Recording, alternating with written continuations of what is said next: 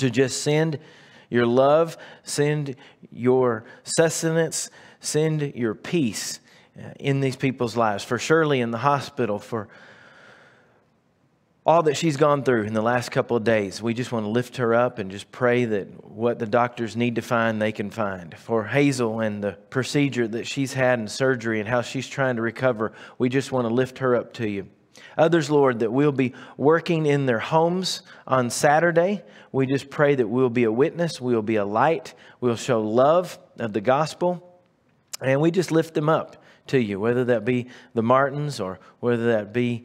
Uh, Tammy Matthews and, and the others that are dealing with cancer. We thank you, Lord, for the progress of David and others, some that are even here tonight. We just say hallelujah for that. For, and uh, we thank you for them. For Miss Sybil and, and all those that just passionately want to follow you and are struggling with some issues in their life, we lift them up to you in the name of Jesus. And we pray that you will be there with them, that you will be by their side, and that you will also be a great healer to them. We thank you for hearing these prayers tonight. We prayed in the name of Jesus. Amen. There are others that I didn't mention. The list is uh, long, but know that if you're on the list, we are praying for you. And I sent out some texts today to some of those people that we're praying for. And it's a joy, even uh, yesterday, getting to, to hear from some that are at home, still kind of stuck during this time, but they're able to praise the Lord, and God can use them as prayer warriors as they are away. And so there are other prayer requests that we want to continue to remember. But tonight, as we go into the book of Ezekiel, and we also be in the book of Hebrews, as we look at two of those, I couldn't get out of chapters 30 through 32 and jump into 33. It's a total change and, and hopefully we'll be there next week. But there was still one message that kept jumping out at me from these passages uh, because we didn't take them very slowly, uh, but we looked at them kind of an overview. And so as I look at chapter 30 through 32, and we looked at Egypt, we mentioned last week at, at the end that there were seven oracles that God revealed to Ezekiel. And those oracles talked about God's wrath upon the nations, not only Egypt, but several other nations that were around Israel. Egypt was the primary nation, Egypt was the one that was still kind of a thorn in their flesh. Egypt was the one that many times they would look back to and they remembered the gods. They remembered the food. They remembered the fertile land.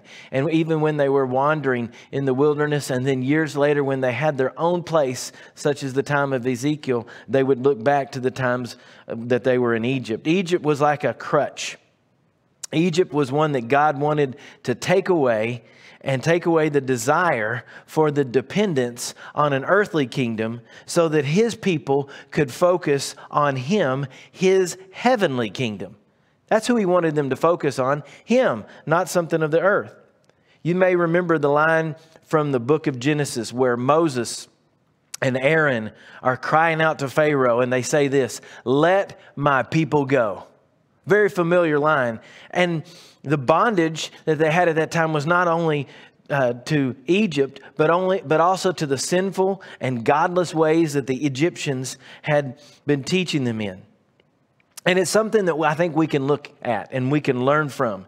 As you look at the Bible, not only in the book of Genesis, but down through the ages, we as humans, not just the people of Israel, but probably, if you admit it, each and every one of us as humans, even we who are Christians and have begun to follow God, we too, many times, will return to our vices. We return to our habits and we return and look back, or sometimes even longingly, on our sinful ways. And so it's that desire that God has for us to focus on Him and focus on returning to, to the Lord and not returning to those evil ways and those evil idols and those evil parts of our lives. Now, when we are in Christ, He's given us a new life. The Bible says that we are new creations. Old things have passed away. Behold, all things have become new. But even Paul himself talked about this wrestle with doing the things he didn't want to do, and he would sometimes do them. And so we struggle with that as humans. And we give our lives over to Christ, and when we do, he frees us from the clutches of sin. He frees us from this being able to go to, to, to, hell from this promise of, of eternal life and eternal damnation, and He gives us everlasting life. We no longer have everlasting punishment, we have everlasting life. And that's the way we need to live. We need to live towards Him. But unfortunately, we're not unlike the Egyptian people. And even though we may be Christians and we may live in a Christian country and we're constantly challenged with the question, is it really God that we are trusting? Are we trusting in other things? There are so many temptations out there, so many other things that we can focus on, so many things that we give our attention to or we give our time to, we put our trust in. And yes, there are many things that at times we even worship, whether we admit it or not. You know, I talked to a guy in town today as I was waiting for one of my tires to be replaced. And I began talking to him in his native tongue in Spanish, and we began to converse a little bit. And I was thankful he was talking slow because I haven't had a lot of practice lately. But he asked me what my work was. And I told him that I was a pastor. And then he asked me what denomination, and, and I told him that. And, and I said, but it's Christ first. Christ is first above any denomination. And then we began to talk about the coming of Christ. And he says, Christ is coming back. He's coming back. And I said, That's right. The, the Bible even talks about it as birth pains. And we see that in the, the lives around us. And he said, We need to be ready. We need to ask Christ, you know, to, to, to return and to be ready. And as I talked to him about Jesus' return and how we needed to focus on that, and we don't need to look back. I said, we don't need to look back at our sinful life, look back at those sinful ways. We need to look forward to Him and not look back at those things that we've repented from and the habits that we said we wouldn't take up again. You know, for this time, it took a war, it took many deaths, but God was intent on taking Egypt away from his children. That desire, that crutch, he no longer wanted his children to look back towards Egypt. Don't look back, he was saying. Don't look back at the godless people that, that held you as slaves and made you focus your attention away from me. Don't look back, God was saying, at the sinful desires that you had when you were there. All of that is crumbling. All of that is falling away. And he begins to mention some of the names, but there in the scriptures of Ezekiel, chapter 32, he says, I will shatter. This is around verse 12. I will shatter the pride of Egypt, and all their hordes will be overthrown. Verse 15 Egypt will be desolate, and I will strip the land and everything that is in it. He will be, they will be stripped, taken away, their pride taken away, their land taken away, their fertile ground gone. They will enchant out, he says, and lament and there are many other nations around them. And he begins to name off some of these nations like Assyria and Elam and Edom. And then he mentions Pharaoh again and all of his army. And all those hordes will be killed by the sword. And he says several times in the scripture when all this happens, when these crutches are taken away, when these gods, so to speak, are taken away, when this way of life is gone and they no longer can look towards Egypt, back towards Egypt, then they will know that I am the Lord their God. God was saying, all this is going to fall down. All of it. And it's going to be evident. Don't look back. Don't hold on to the old ways. Don't hold on to your old security. Don't hold on to all of this that is crumbling and being destroyed. And I wonder that even across our nation at times. We've had some tough stuff lately, right? Birth pains. People talk about weather in all these different ways and what we can do about it as man, and I think we need to take care of our nation. We need to take care of our water, and we don't need to pollute things. And I can't stand it when people throw trash on the ground. But ultimately, where the weather is concerned, God's in control of that. And he even says there will be wars and rumors of wars, and there will be earthquakes, and there will be all these pestilence and all these things. Jesus himself names them, a whole list of them. And he says, and that, are, that is signs that the end will come. We are during those times. Waiting for the end to come. And as it become more and more, whether it be an earthquake, whether it be these hurricanes, whether it be fires destroying things, it's causing us as humans to kind of look around and not have dependence on so many earthly things and know that there is a God who is over the earth. And there are many that are blinded. But I hope those that aren't blinded see that we need to keep our eyes on Him during this time. Don't look back at those old ways. Look forward. You know, this is a principle that is not new to Ezekiel. It was something that was in the Old Testament as well, earlier in years. This principle was taught in the time of Abraham. Abraham was crying out to God, and God was saying, I'm going to come and I'm going to destroy Sodom and Gomorrah. But Abraham said, My nephew Lot is there. And he, there's this whole discourse around Genesis 18 on into 19 where he and God are talking about it. And God finally says, I'm bringing it. And so God is so displeased with the people inside. And he's more, you know, displeased with them in such a way that he's going to destroy that, that those two cities. And so as, as Abraham is praying, he decides to do what God does. He sends two angels to rescue Lot and his family out of that place. It says when they rose the next morning, because they got there in the evening of the night, and they were telling them, we're, we're getting out of here the next day. When they rose the next morning, and they told Lot and his family to run, run to the hills in order to save themselves, they were told something very important. As you run to the hills, don't look back. Very clear, very direct. Don't do it. How many times have we been told don't do something and we do it, and many times we suffer the consequences? And now, through the ages, we have seen how Lot's wife looked back. Take your sons and daughters, whoever you have, he says, get out of this place because we're destroying it, and you will be consumed in the punishment if you stay here. He even took hold of their hands, the scripture says, and they began to run with them. And he says, Escape for your life, don't look back. A very clear escape. Run to the mountains, or you'll be destroyed. Don't stay in this flat, plain area he says. And then the, as you read the scripture says, the Lord began to rain fire down on those cities and upon the inhabitants of the cities. But what happened? Lot's wife look back. Don't look back that old sinful way. Don't and it wasn't just that she looked back because I believe that God knew her heart. I believe that it wasn't just a thing of disobedience, but that she looked longingly back. She turned back to, to that which she wanted more than what she wanted to, to run to. And that was where God was taking her into a new era, a new time. And we see that now, many years later, because when she looked back, the scripture says she was turned to a pillar of salt. Her life was taken from her immediately. And I tell this not just to, to her, I say this to all of us. You know, almost as I knock myself in the head. Hello, don't look back.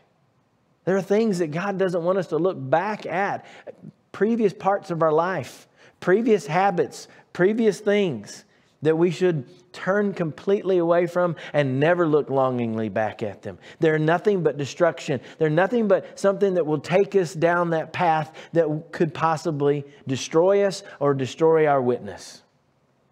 Now, in Ezekiel, he was saying the same type of thing. He says, I'm going to destroy your crutch, I'm going to destroy Egypt. Don't even look back. Don't hold on to that old way, that old security. You know, and that's a lesson that we can learn today. If the Lord has saved you, if He's redeemed you, if He's taken you out of a sinful lifestyle or He's taken a, a sinful habit away from you or something like that, don't look back toward it, to it. Go forward. Follow Him where? Into the future. Follow Him where He's leading you. Wherever He leads, I'll go. That's a song I used to sing all the time as, as a kid. And we've sang it some recently in years. Wherever He leads, I'll go. It's a, ne- it's a message we need to remember, even when we're going through temptation. And that's where the book of Hebrews comes in. As we've tied in Ezekiel to Hebrews several times through this study, that's where I thought it was very interesting as we've been reading, and, and I've read parts of chapter 3 before, but I look back at it because it says there in verse 12, Brothers, if there is any of you that has an evil heart, a heart of unbelief, a heart that wants to depart from the living God. See, that's, that's kind of like the heart that, that Lot's wife had. That's the, the heart that looks back to those other things. He says, if we've got that, Encourage one another to depart from that. Exhort one another daily so that you aren't hardened through the deceitfulness of sin. For we have become partakers of Christ. He's reminding us if we are Christ, we've partaken of Him. Don't go back that old way. If we hold on to what? Our confidence and our confession. And if we do what it says there, be steadfast to the end. See, part of not looking back is remaining steadfast in what you know is right and true and holding on to that. If you're not steadfast, if you're on shaky ground, if you're unsure, then that's where you begin to look back and you try to find another way, another situation, an old way that, that helped you at one time. But if you remain steadfast, like he's challenging us here, we're confident in who Christ is and what he's going to do in our life and where he's taking us. Then I move on to chapter 4. And here in this chapter, around verse 14, he reminds us that Christ was a great high priest. That's a big part of Hebrews. Christ is the high priest, the highest of high priests. The high priest was the one that would be on behalf of the people and go into the Holy of Holies and sprinkle and, and burn incense on behalf of the people. And that's what Jesus did. He gave his blood, he was the great high priest, paying atonement for our sins. And in Hebrews chapter 4, verse 14, it reminds us that he is the great, great high priest, Jesus. He has passed through the heavens. He's the Son of God. And we should, again, he uses the same phrase hold fast to our confession. It means don't waver. It means focus on what, he, what we know is right. It means don't look back at those other things. Now, here's what I want you to see about our great high priest he can sympathize with our weakness. We forget that, I think. We forget that Jesus, because he is God in the flesh when he was on the earth, when he was here, we forget that he was tempted just like us, that he went through temptation. He was, in all points, the scripture says, tempted as we are, yet without sin. See, we, we need to rem- remember to look at Him. When we're tempted to look back and go to those old ways and go to those simple things and go to those desires that we're challenged to, uh, or, or tempted to go to, we need to look and remember that Jesus conquered all those things. He was in all points tempted, but without sin. And so it tells us, therefore, come boldly to the throne of grace that we may obtain mercy and find grace that will help us in time of need. That's why it's so important that we can have someone that can help us be accountable, someone that can be a prayer partner, have someone that we can go to at the same time and, and in a sense, run to. And if there's nobody, there's always who? Jesus. There's always the Lord. He's always there for us. If we'll just go to Him and pray to Him, that will help us and keep us from looking back. Look to Him, don't look back. Know, there's a story where Jesus himself encountered a young man. This passage, the story that he was talking about, was around uh, Luke chapter 9. And he was talking several places about what it costs to be a disciple of Jesus. And he talks about a, a person and, and following him down the road and what it's like to follow the Lord. And, and you know, foxes, he says, don't have uh, places. The birds of the air have nests, foxes have holes to sleep in, but there's nowhere even the Son of Man has. He says, But follow me. He went to one man and he gave an excuse. Let me go home and, and wait until my father dies, and then I bury my father, then I'll follow you. And Jesus said, You know, I come first, even before family. Let the dead bury the dead. But he comes to this one man. This is the one I want you to really focus on seeing. And he says, As I come to this man, this man came and said, This is verse 61. He says, I will follow you, Jesus. Can you imagine that? How many of us have said that? I'll follow you, Jesus. But let me first go home and tell all of my family goodbye who are at my house. Seems like a reasonable request, right? I'm ready to follow you, but let me go at least tell my family goodbye, pack my bags, you know, get my belongings. I think it's much like the situation with Lot's wife. God always knows our hearts. He knows if our desire is really to follow Him or our desire is to do something else. If we're putting excuses, excuses, sometimes every day.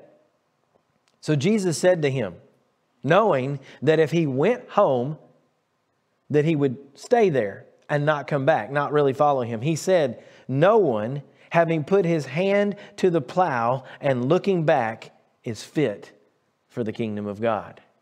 Why don't you imagine what that's like? Imagine holding on to a plow and going forward. Where do your eyes have to be, right? Forward. It's pretty simple. You got to watch the animal that's pulling it in front of you. You've got to watch the plow to make sure it's going the right direction. You hear stories of men years ago who would look way down the, the line and find a tree or a fence post or something, and they would focus on that and keep their eyes in front of them so that the road would remain straight because they know if they begun to look back, then all of a sudden the roads can come out when you're going forward, driving forward, you got to be careful, right? Because if you look back and you don't keep focus on some of the stuff that's here, then you could have a train wreck, right? Today, that happened to me. I'm at Sam's trying to get some stuff, and, and I was dropping in there on my way to get some stuff from the church. And this weekend, we're having some projects, and thank you to some of you that are helping out with those projects. But I pull in to get a car wash, right? Wanted to get a little spruced up. And as I pull in, it was blocked. And there was a lady in front of it, so I didn't know it was blocked. And so when I got behind her, then I couldn't go anywhere. I couldn't cross this way, which is the way you're supposed to go. You're not supposed to go against the grain, against the traffic. But I was stuck and I couldn't really back up. And so I thought, I'll just pull in here to the right for one second so that I can kind of back up and get out of there. And as soon as I pull in there, there comes a Jeep. And I stop my truck and I thought, surely he sees I'm trying to back up. I'm in, in the way. And so I look back and start backing up. And I look at my camera, backing up, backing up. And all of a sudden I hear this horn honk. And I stop and I look, and that Jeep had pulled up within about six or seven inches of me. And if I'd have kept backing up with my wheel turned, I would have ran right into that Jeep. And I looked at him, I'm like, what? You know, like, why are you here? I shook, shook my head and he's like, You're going the wrong way. And I was like, I know, that's why I'm trying to back up. I, I couldn't go anywhere else because that car was in front of me. I had no choice to either. But looking back for almost one second almost cost an accident. And I think that's a principle that we need to take to heart in our own life that if not for God, if not for a honking horn, and I believe God saving me that, that one moment, I would have had to fill out a lot of forms this afternoon that I would not have enjoyed filling out. I thought this was really good that a writer writes about, uh, kind of sums up what's happening. And it's, it's something written by C.S. Lewis in a book that he calls The Great Divorce. He has all these groups of people who are on a day trip, and they go from hell to the borders of heaven. Hell is like a gray, shadowy place, and there are ordinary things and bus stops and fish chip shops and all these things, but ultimately it's unreal. Heaven, on the other hand, is bright and sharp and real. It's an it is an uncomfortable place for the shadowy, unsubstantial people on their day trip. On their arrival, they are each faced with a choice of whether to stay in heaven, and so gradually, painfully, they will become real, or they can return to the comfort shadowland. In each case, the decision boils down to a choice between retaining an idol and gradually becoming nothing more than a pale reflection of the idol itself, or allowing the idol to be killed and thus being set free to a new dimension of life. And as he writes this story, this allegory describes well the choice that we as humans are faced with. We can follow the true God along a real path, often and sometimes it is painful. But this path of life, if we decide it, will ultimately be what? As believers and Christians who put our faith in Him, it ultimately becomes the way to eternal life. Or we can believe all these worldly things, these worldly idols. And when they tell us that we cannot live without them, and we settle for these earthly things and these empty promises for the moment, we will receive ultimately disappointment. And I wonder how many of the painful experiences we encounter in life sometimes are God's challenges to us, just like the Egypt in our lives. The Egypt that is painful and these frowning providences, these things that are often get us to go to, but we can turn not towards that. Don't turn back towards those things, but turn towards Him. Keep our eyes on Him and have our trust in understanding the goodness and the greatness of God. I've given you several examples tonight, and it's easy if we would. Learn from others. Learn from Lot's wife. Learn from the man that Jesus talked to in the plow. Focus on the great high priest who can help us in time of temptation. Cry out to him. And learn from the Israelites who con- constantly look back towards Egypt. Don't look back. I don't know what it is in your life tonight that seems to creep back up and wants to grab you and take you down that wrong path.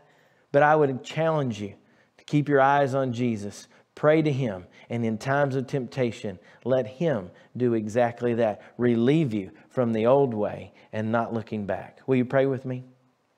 Lord, we just want to come before you and ask that you'll help us to do exactly that. Keep our eyes on you and not look back. Because it takes just a moment a split second sometimes when we look back and it can become a wreck. But I'm thankful, Lord, at times when that does happen, if we're honest and we come to you, many times your mercy is amazing. Many times, if we come to you before that happens, you relieve us from that temptation and you put us on that right path. And Lord, I'm so thankful that you give us a hope, an eternal hope in heaven, and that we can continue as we struggle in these human bodies with these human temptations. We, we know without a doubt that you give us the victory. The victory is in you, Jesus, our Lord. And it's in your name we pray. Amen. Don't look back. Look forward to Jesus in your life. Thank you for being a part of our service tonight. Thank you for being online with us. And we just want to ask you to keep us in prayer as several of our people will be working this weekend in our community in small groups and uh, being light uh, in the community and doing things for, for others. God bless you and have a good evening.